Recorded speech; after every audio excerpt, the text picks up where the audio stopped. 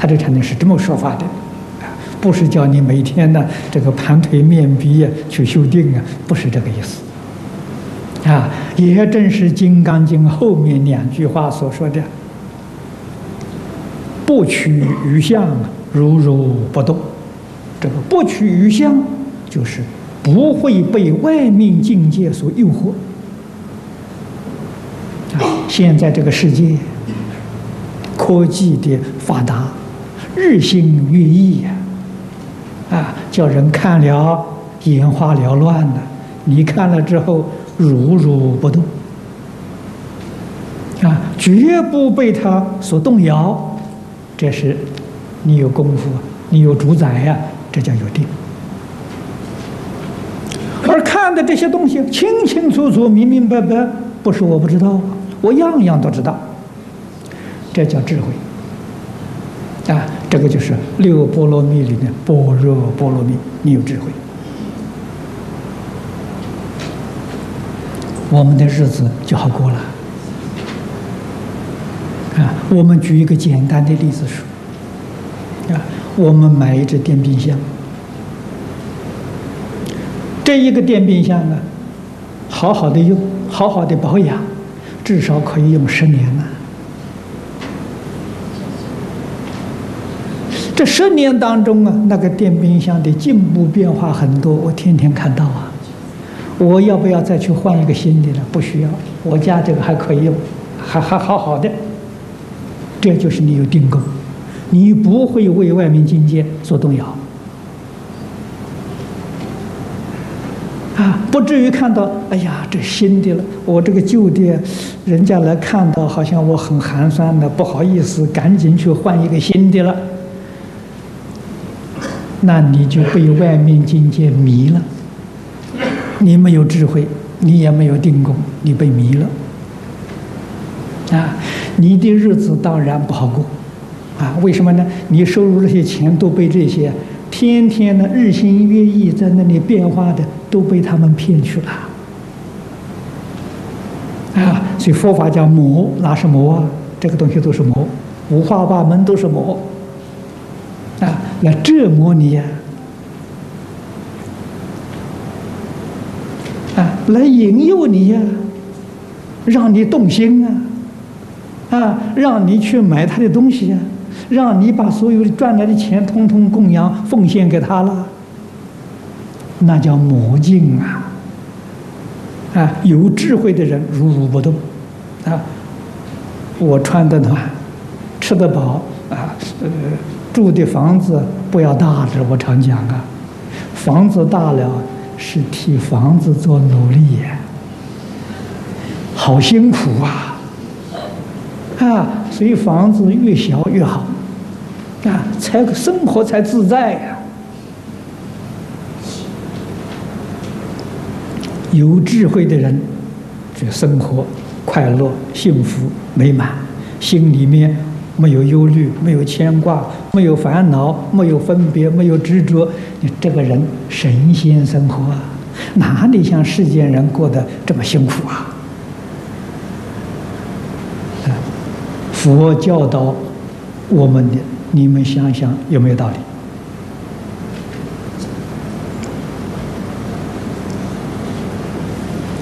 最后一个科目，这个是普贤菩萨的十大愿望。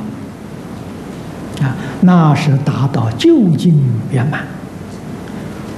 普贤菩萨跟其他菩萨不一样的地方，就是这个这一类的人心量广大，他起心动念呢，都是为一切众生着想，他没有想自己，也没有想家庭，也没有想他一个国家一个世界，他是净虚空变法界。这个心量就大了，大到真正圆满。这样大的心量，他所修的一切行都叫大行。你们念《无量寿经》念的很多啊，西方极乐世界的人，个个都是修的普贤行。每一个人呢，那个心量、眼光的远大，跟阿弥陀佛一样。啊，跟阿弥陀佛看齐呀，那个行持就叫做普贤行了。那么我们再要谈到佛法修学的层次啊，程序，这是佛在经上常说的“信解行证”。啊，第一，你要有信心。如果对佛法没有信心，你就不能接受了。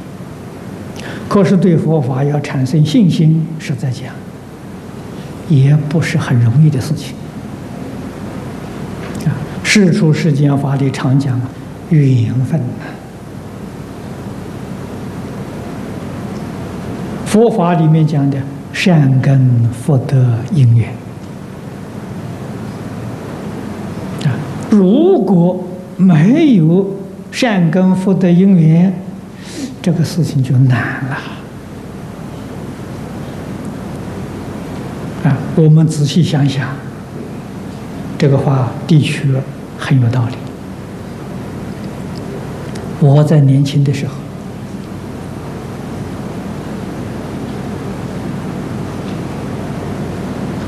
在学校念书的时代。啊在那个时候，社会上啊破除迷信，大家都把佛法看成迷信啊，所以我们从小那个观念里面呢，这个东西是迷信，没有法子接受啊。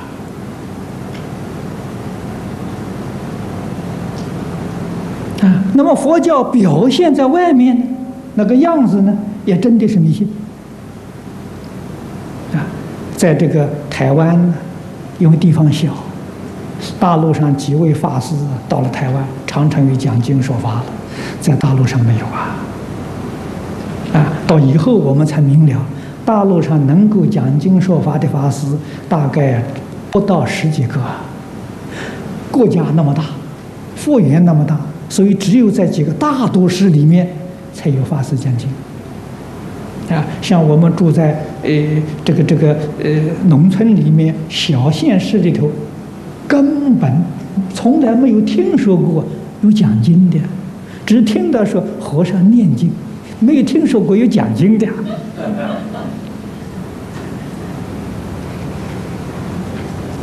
啊，所以表现的都是度死人啊，这个寺院呢。他们跟死人往来啊，都跟他们发生关系，好像跟活人没什么关系啊，完全不能接受啊！所以年轻的时候啊，走教堂，啊，走基督教教堂，还听听牧师讲讲道，哎，有的时候听说还蛮有道理，啊，反而佛法还不如他们。啊，所以我在年轻的时候，我对于基督教、对于伊斯兰教很向往，啊，我在伊斯兰教里头一年呢，在基督教里头两年呢，啊，但是佛教里面是绝对不能接受啊。啊，到台湾之后，我想学哲学，跟方东美先生学哲学。方先生跟我上课最后一个单元呢，佛经哲学。告诉我，佛经哲学是全世界哲学的最高峰，这这是人生最高的享受。恍然大悟，佛教里头有这么好的东西，可惜没有人知道。实在讲，连出家的法师也没有说过。啊，出家的法师，哎，你来学佛，你念佛，那为什么学佛？为什么念佛？说不出来。怎么能叫一个？就是知识分子，知识分子很糟糕啊，很顽固啊，如何能接受？啊，所以我接受方先生教导之后，才知道佛门里面有宝啊，有好东西呀，啊，可是这个好东西啊，出家人说不出来，啊，我们只有到寺院去找经典来读。非常非常的可惜啊！以后才听听法师们讲经。